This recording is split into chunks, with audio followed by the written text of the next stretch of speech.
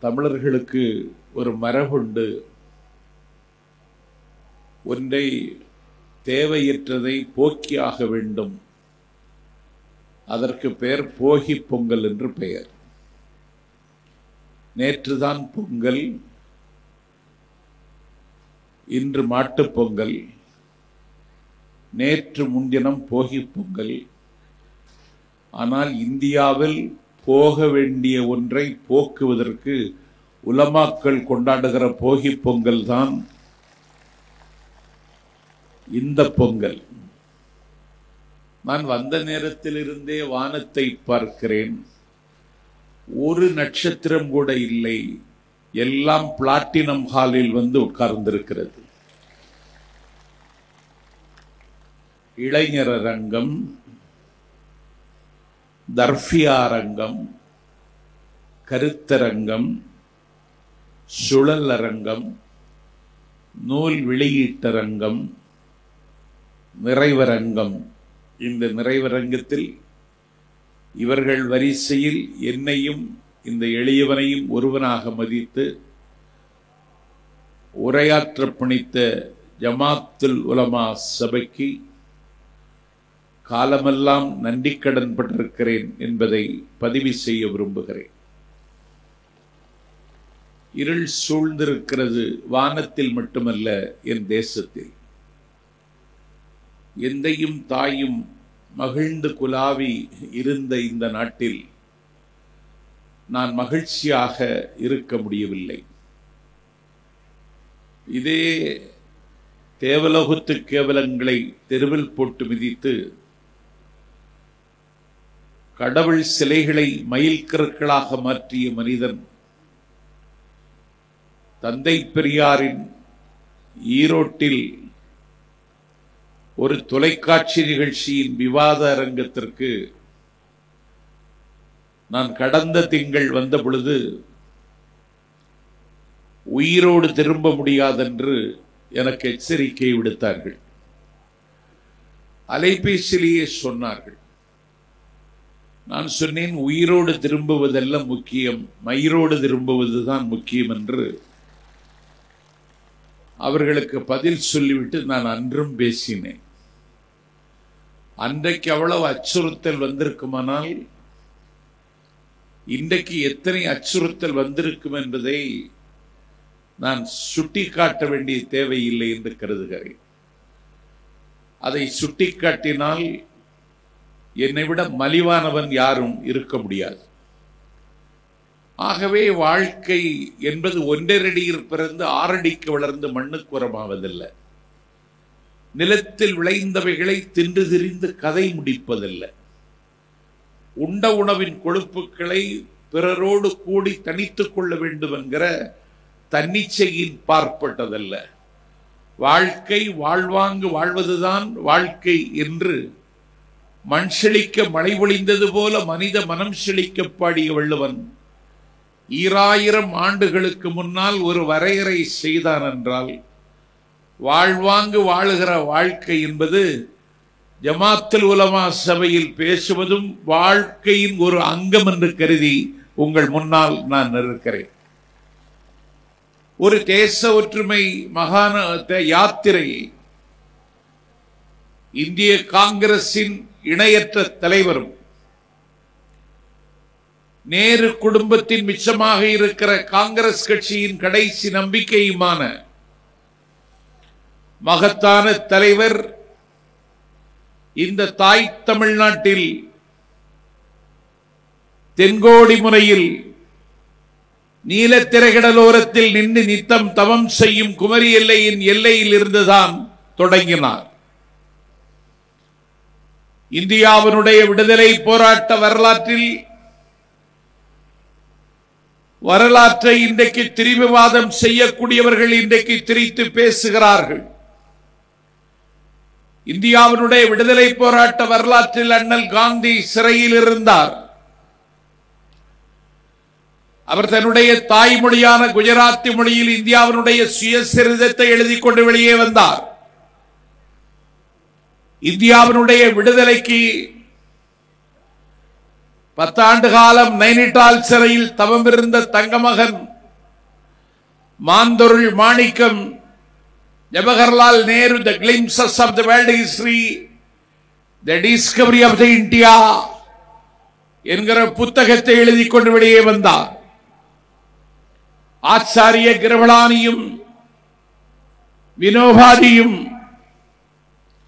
இந்தியாவினுடைய விடுதலைக்கு சிறையிருந்தார்கள் வேதத்திற்கும் உபனிஷத்திற்கும் விளக்கம் எழுதி கொண்டு வெளியே வந்தார்கள்.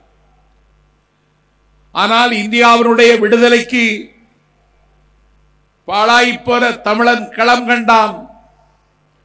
அன்றைக்கு கான்சாயிப் மருதநாயகம் அன்றைக்கு கொல்லப்பட்டான்.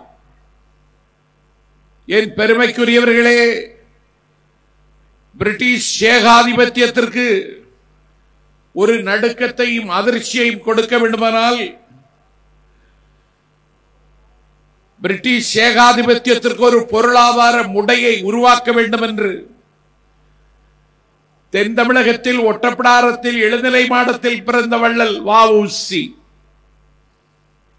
தமிழின் சிகரங்களை தொட்ட அந்த பெருமகன் ஒரு முடிவெடுத்து பிரிட்டிஷ் ஏகாதிபத்தியத்திற்கு எதிராக ஒரு சுதேசி கப்பல் கம்பெனியை அன்றைக்கு அவர் தொடங்கிய பொழுது அவருக்கு அன்றைக்கு கப்பல் கம்பெனி தொடங்க போகிறாயா? பிரிட்டிஷ் ஏகாதிபத்தியத்திற்கு சிம்ம இருக்கின்ற இந்த அதிர்ச்சிகரமான நடவடிக்கைக்கு இதோ தருகிறேன் நிதி என்று அன்றைக்கு வாரி கொடுத்தவன் ஒரு முஸ்லீம் என்பது இந்திய நாட்டின் விடுதலை போராட்ட வரலாறு. சுதேசி இயக்கத்தை ஒரு கலாச்சார அடையாளமாக மாற்றியது கதர் என்றால் அந்த கதரை அறிமுகம் செய்தவர் பிபி அம்மாள். அவர் யார் என்றால் ஷேக் அலி சௌகத் அலி என்று என்னுடைய கையிலே ரெண்டு சிங்கங்கள் இருக்கின்றன என்று தேசப்பிதா காந்தியடிகள் பெருமிதத்தோடு சொல்லுகிற தகுதியை அவருக்கு தந்த அந்த சகோதரருடைய தாயார் பிபி அம்மாள். அவர்கள் இந்த தென் தமிழகத்திற்கு வந்தார்கள். இளையான்குடியில் அலங்காரத்தோப்பில் இந்திய விடுதலைக்கான தேவையை உரையாற்றியது மட்டுமல்ல முப்பது லட்சம் ரூபாயை இன்றைக்கு திரட்டி இந்தியாவினுடைய விடுதலைக்கு அன்றைக்கு காணிக்கை தந்தார்கள் பிபி அம்மாள் தென்காசி பள்ளிவாசலில் பள்ளிவாசல் மைதானத்தில் அன்றைக்கு பிபி அம்மாள் அவர்கள் உரையாற்றினார்கள். ஆயிரத்தி தொள்ளாயிரத்தி இருபத்தி நாலில் அவர் இந்த பூவுலகத்தில் இருந்து விடைபெற்ற அன்றைக்கு அவருடைய ஜனாசா கதர் துணியால் சுற்றப்பட வேண்டும் என்றவர்கள் எழுதி வைத்ததன்படி அந்த சம்பிரதாயம் அன்றைக்கு அரங்கேறியது. ஆகவே இந்திய விடுதலையில் எந்த பங்களிப்பும் செய்யாதவர்கள் மட்டுமல்ல காட்டி கொடுத்தவர்கள் துரோகம் செய்தவர்கள் அந்தமான் சிறையில் இருந்து கொண்டு மன்னிப்பு கடிதம் எழுதி கொடுத்த மகா பாவிகள் இன்றைக்கு இந்த தேசத்தை சூறையாடி கொண்டிருக்கிறார்கள் என்பதை விட இந்த தேசத்தின் ஆன்மாவை சூறையாடி கொண்டிருக்கிறார். இதை ஒரு கோட்சேயின் நாடாக மாற்றுவதற்கு இன்றைக்கு அவர்கள் விதவிதமாக சிந்திக்கிறார்கள். அதை எனக்கு முன்னால் உரையாற்றியவர்கள் அவரவர் அணுகுமுறையிலே இங்கே பசித்து வந்த உங்களுக்கு பந்தி வைத்திருக்கிறார்கள். நாஞ்சில் சம்பத் சொல்லுகிறேன் அச்சப்படாதீர்கள். அவர்கள் பின்னால் நாளைக்கு இந்தியா இருக்காது இதைத்தான் இமாச்சல பிரதேசம் எனக்கு சொல்லுகிறது. அச்சப்படாதீர்கள். திரிபுராவில் ஜார்க்கண்டில் இடைத்தேர்தலில் நாம் தான் வெற்றி பெற்றிருக்கிறோம் அவர்கள் தோற்றிருக்கிறார்கள். இன்றைக்கு பெரிய கொடுமை என்னவென்றால் இந்த அரங்கத்தில் இருக்கிற பெருமக்களை வைத்துக் கொண்டு சொல்லுகிறேன் இந்தியாவில் என்ன நடக்கிறது என்பது நமக்கு தெரியாது. Today grave threats to democracy எல்லாவற்றையும் சூறையாடி விட்டு எங்கே என்ன நடக்கிறது என்பதே தெரியாமல் அவர்களை மட்டுமே விளம்பரப்படுத்துகிறார்கள். இன்னும் சொல்ல போனால் ஆர்எஸ்எஸ் கேந்திரம் இருக்கிற இடம் நாக்பூர். நடந்து முடிந்த உள்ளாட்சி மன்ற தேர்தலில் நாக்பூரை சுற்றி பதிமூன்று இடங்களில் அவர்கள் தோற்றிருக்கிறார்கள். இதுவரைக்கும் செய்தியாக வெளியே வரவில்லை. அறிஞர் அண்ணா அவர்கள் டோல்கேட்டு நொண்டி என்று ஒரு கதை எழுதியிருப்பார். சாலையோரத்தில் ஒரு நொண்டி ஒரு மேட்டு பகிர் உட்கார்ந்திருப்பான். விவசாயி தோட்டத்திலிருந்து காலையில் வெள்ளரிக்காய் பறித்து ஒரு கூடையில் வைத்துக் கொண்டு வருவான். அவன் உட்கார்ந்த இடத்தில் இருந்து கொண்டு என்ன கொண்டு போகிறாய்? அப்படின்னு கேட்பான் அரட்டுகிற குரலில். அவன் வெள்ளரிக்காய் அப்படிமா வச்சுட்டு போடாம்பான். அவன் பயந்து வச்சுட்டு போயிடுவான். அவன் மிரட்டுற மிரட்டல. இனி ஒரு அம்மா கூடை சுமந்து வருவார்கள். கூடையில் என்ன இருக்கிறது? என்று கத்துவான். அகத்திக்கீரை என்று அவள் சொல்லுவாள். வச்சுட்டு போ அப்படிம்பா. அந்த அம்மா வச்சுட்டே போயிடுவாங்க. இன்னொருவன் வருவான் கூடையில் என்ன இருக்கிறது? அப்படின்னு கத்துவான் தக்காளியும்பா. வச்சுட்டு போம்பா. இன்னைக்கு கறி நாள். நண்பர்களுக்கு விருந்து கொடுப்பதற்கு நாலு கிலோ ஆட்டுக்கறி எட்டு கிலோ கோழிக்கறி வாங்கி ஒரு அலுமினிய குண்டாவில் வைத்துக்கொண்டு வருகிறான் ஒருவன். என்ன கொண்டு போகிறாய்? அப்படின்னு கேட்டான். ஆட்டுக்கறி கோழிக்கறின்னா. வச்சுட்டு போன்னு கத்துனான். அந்த டோர்கேட்ல இருந்தவன். வைக்க முடியாதுன்னா